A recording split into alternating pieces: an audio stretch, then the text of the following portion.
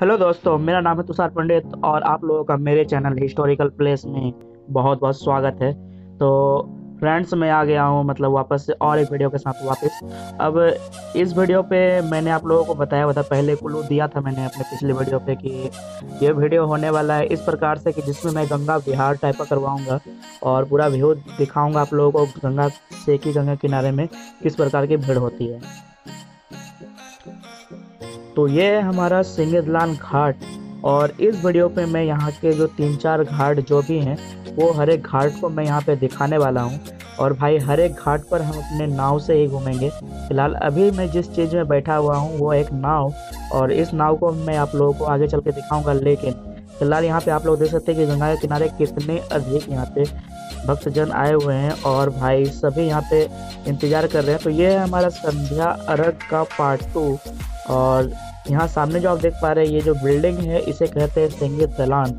और यही हमारा सिंगित दलान। और कहा जाता है सिंगित दलान के बारे में कि सेम इसी प्रकार का स्ट्रक्चर इसके नीचे दो दो महला मतलब अंदर में धंसा हुआ है। और यहाँ पर एक खुफिया दरवाज़ा भी था, जिसे खुफिया गुफा कह सकते हैं, जिस पर अभी तक का रिकॉर्ड है कि जितने बंदे अंदर गए, जितने लोग अंदर गए वो बंदे, वो लोग अभी तक वापस आए नहीं वहाँ से घूम के। इसलिए उसे सिक्योरिटी पर्पज़ के लिए उस चीज़ को, उस दरवाज़ा को बंद कर दिया गया। तो ये है यहाँ में जो आप लोग देख सकते हैं तीन चार नाव सामने लगे हुए हैं। तो ये वही जगह है जहाँ से हमारे लिए नाव खुलती है। और यहाँ पे बहुत सारे लोग देख देख सकते हैं कि ऑलरेडी यहाँ पे चढ़े हुए हैं। तो शायद से ये घूमने के लिए जा रहे हैं या फिर घूम के वापस आ रहे हैं। तो यहाँ पर हम लोगों ने अपना राइड स्टार्ट किया था। तो मैं फ़िलहाल आप लोगों को अपने बीच का वीडियो से दिखा रहा हूँ। अब हमारा जो है, यहाँ तक सिंगलान घाट जो था, वो ख़त्म हो चुका है। अब हम लोग जो आगे रुक कर चुके हैं, ये हमारा एल घाट, यानी कि इसी का नाम है गुदारा घाट। अब यहाँ पे जो आप ये एल देख रहे हैं, ये एल हमारे राजमहल घाट से मानिकचक घाट के लिए खुलती है। और इस प्रकार के यहाँ में तीन चार एल और बहुत सारे बड़े बड़े एल भी हैं यहाँ पे। फ़िलहाल इस एलसीटी को अभी प्रशासन को घुमाने के लिए यहाँ पे रेडी किया जा रहा है। और यहाँ पे आप देख सकते हैं कितना बड़ा एल सी यहाँ पे और एक लगा हुआ है। और एक एक एल पे नहीं भी तो कम से कम दस से बारह ट्रक एक बार में ताजमहल घाट से मानिकचक घाट लेके जाया जा सकता है। उसकी वो कैपेसिटी है। और इसके जस्ट बगल में जो आप छोटा ला देख रहे हैं, यह है एक छोटा वाला एल सी टी जिससे कि सिर्फ़ लोग जाते हैं, इसमें किसी प्रकार का व्हीकल नहीं जाता बाइक वाइक जाता होगा बट जो बोल सकते हैं ट्रक या फिर कार, उस प्रकार की कुछ किसी भी चीज़ उसमें से नहीं जाती है। और सामने आप देख सकते हैं, ये एल भी शायद ट्रक को लेकर जाने के लिए यूज़ किया जाता है। तो यही है हमारा मानिकचक घाट और यहाँ पर भी छठ पूजन की जाती है, बहुत ही धूमधाम के साथ। तो मैं वो भी चीज़ आप लोगों को दिखाने वाला हूँ। अब किनारा में आप लोग थोड़ा सा देख सकते हैं कि भीड़ भाड़ वाला माहौल है और यहाँ पर मतलब लोग आते हैं, लेकिन बहुत कम आते हैं। तो यहाँ पर सिंगलान घाट की तरह यहाँ पे भीड़ नहीं होती है लेकिन यहाँ पर ये बहुत अच्छे से मनाया जाता है। और दोनों जगह पे सिंगलान घाट और ये जो मानिकचक घाट है, दोनों जगह पे अपनी अपनी एक स्पेशलिटी ये है कि सिंगलान घाट पर भी अपना अलग मूर्ति उठाया जाता है। यहाँ पर गंगा माँ की पूजा की जाती है। और गोदारा घाट पे भी सेम उसी प्रकार से मूर्ति अपना अलग उठाया जाता है। अब यहाँ में आप लोग देख सकते हैं, यह है पानी का प्लांट का स्ट्रक्चर यहाँ से पानी उठाया जाता है गंगा जी से। ये जो आप तीन पाइप देख रहे हैं, इसमें से पानी को उठाया जाता है और इससे कम से कम यहाँ से दो तीन किलोमीटर दूर मटियाल के टंकी में भेजा जाता है और फिर वहाँ में जाकर वो वाटर वहाँ में फ्रेश होता है और फिर वहाँ से पूरे शहर में सप्लाई दिया जाता है। तो गंगा का पानी यूज़ होता है यहाँ में मतलब जो पीने के लिए सरकारी नल में जो पानी आता है, वो गंगा का पानी आता है यहाँ पे।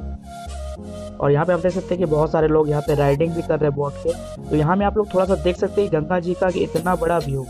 मतलब यहाँ पे गंगा काफ़ी चौड़ा है यार। एक जगह तो यहाँ पर गंगा का अंत ही नहीं दिख रहा। आप लोग जैसा कि देख सकते हैं यहाँ सामने। यहाँ पे गंगा जी का अंत ही नहीं दिख रहा है। तो यानी कि गंगा जो इधर बहुत ज़्यादा चौड़ा है और कभी अगर मैं मानिकचक जाऊँगा तो आप लोगों को उसकी ब्लॉग भी मैं बना के दिखा दूँगा कि वहाँ तक जाने में मतलब कितना टाइम लगता है और बीच रास्ते में क्या क्या हमें मिलता है। तो फ़िलहाल यहाँ पे आप देख सकते हैं कि इधर भी छठ पूजा के लिए बहुत सारे लोग यहाँ पे आए हुए हैं पूजन करने के लिए। और यहाँ में दो दो एल है एक ब्लू एक येलो। इसमें भी ट्रक लाद के जाया, जाया जाता है। इस एल की कैपेसिटी है लगभग 12 ट्रक की। और यहाँ पे अपने नाव दे सकते हैं। और भाई पानी में जो सूर्य का जो प्रकाश पड़ रहा है और उसका जो प्राकिरण हो रहा है मतलब परावर्तन जो हो रहा है, वो मतलब कुछ अलग सा ही लग रहा है। मतलब बहुत ज़बरदस्त सीन लग रहा है यहाँ पे। आप लोग यहाँ पे देख सकते हैं। और ऐसे में बता दूँ कि मैं राजमहल का रहने वाला हूँ, पर मैंने भी बहुत अधिक मतलब नाव पे जो है राइड नहीं की है। Most of the time Chhath Puja पे ही मतलब मैं घूमता हूँ और काफ़ी मज़ा आता है मुझे यहाँ पे घूमने में। तो हम लोग फिर से वापस आ रहे हैं और मेरे कुछ मित्रगण सामने वाले उस बोट पे चढ़े हुए थे तो वो लोग थोड़ा हाई बाय हुई कर रहे थे। तो ये हमारा गोदारा घाट सामने आप लोग देख सकते हैं। अब यहाँ पे मैंने दो घाट को तो कवर कर लिया। एक गोदारा घाट को कवर कर लिया, दूसरा सिंगलान घाट को कर लिया। और अब बारी है नीलकोठी घाट की तरफ़ चलने की। और उसके बीच में और एक घाट आता है तो वहाँ भी लेके चलने की। तो मैं दिखा दूँगा कि उधर क्या क्या है, नहीं। तो फ़िलहाल जो गुदारा घाट है, ये लॉन्च घाट के नाम से ज़्यादा फ़ेमस है यहाँ पे। अगर आप एल घाट बोलोगे तो जल्दी लोग पहचान पाएँगे कि आपको एग्जैक्टली जाना कहाँ है। और अगर हमें मालदा जाना है या फिर हमें वेस्ट बंगाल जाना है तो यही जगह है जहाँ से हम लोग लॉन्च पकड़ के इस नदी को पार करेंगे और सीधे वेस्ट बंगाल पर एंटर कर जाएँगे। अब यहाँ पे देख सकते हैं कुछ उच्च पदाधिकारी सब यहाँ इस लॉन्च पे बैठे हुए हैं ताकि अच्छे से निगरानी कर सके कि छठ पूजा में किसी प्रकार की दुर्घटना ना हो। और ये अभी घूम के सारा चीज़ निरीक्षण करने वाले हैं।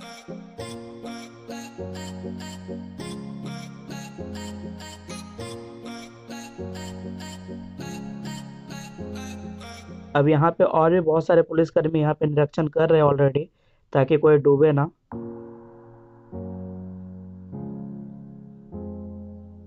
और यहाँ पे आप देख सकते हैं कितना ही सुंदर मतलब कितना प्यारा सीन है ये।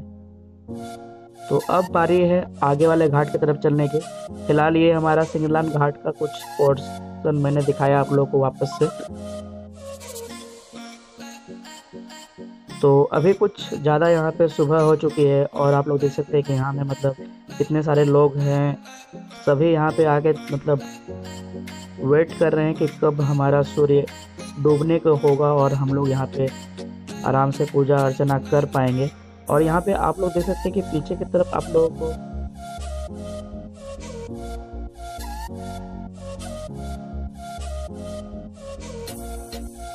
और यहाँ पर भी है पानी टंकी जहाँ से पहले मतलब अभी भी सप्लाई होता है, पर यह पुराना वाला है और वो जो पीछे मैंने आपको दिखाया पानी टंकी, जहाँ से पानी लिया जाता है तो वो नया वाला है।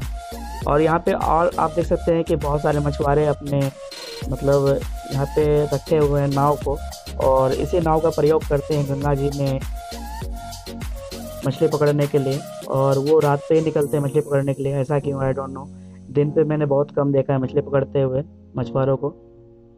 और ये हमारा तीसरा घाट यहाँ से शुरू होना, शुरू हो चुका है। यहाँ सामने आप देख सकते हैं कि कुछ भीड़ लगी से यहाँ पे महसूस हो रही है। और घाट से काफ़ी ज़्यादा डिस्टेंस पे हमारा नाव चल रहा है। वजह ये था कि बीच में एक छोटा सा चर निकला हुआ है। अगर हम लोग ज़्यादा किनारा जाते हैं उधर तो हो सकता है कि हमारा नाव जाके उस चर में फंस जाए, इसलिए हमें कुछ ज़्यादा दूर से ही घूमना पड़ रहा है। तो यहाँ में बैक टू बैक दो घाट हैं। पहले यहाँ पे एक घाट है, फिर और एक घाट थोड़ा आगे जहाँ में कि आप लोगों को कुछ धुआँ टाइप का दिख रहा होगा। तो वहाँ पर भी बहुत सारे श्रद्धालुगण वहाँ पे आए हुए हैं। आई थिंक से यही है नीलकोठी घाट या नीलकोठी घाट का कुछ यहाँ पर पोर्सन है।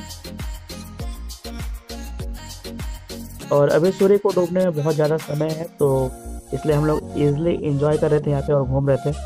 तो आप लोगों को कैसा लग रहा है हमारा ये वीडियो? कमेंट बॉक्स में ज़रूर बताना। बाकी बात, अगर अच्छा लग रहा है ना तो सब्सक्राइब ज़रूर करना यार हमारे चैनल को। सब्सक्राइब ज़रूर ज़रूर करना। और वीडियो को लाइक करने के लिए मत भूलना, वीडियो को लाइक कर देना यार।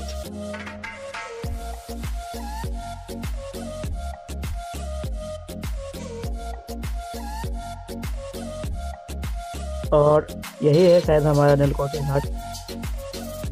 अब मैं आप लोगों को दिखा दूँ कि हमारे नाव में कितने लोग बैठे हुए थे और मैं किस नाव पे बैठा हुआ हूँ। तो ये वही नाव है और इसमें कुछ मेरे मित्रगण भी बैठे हुए हैं। तो सभी को यहाँ पे पूरा एंजॉय करते हुए।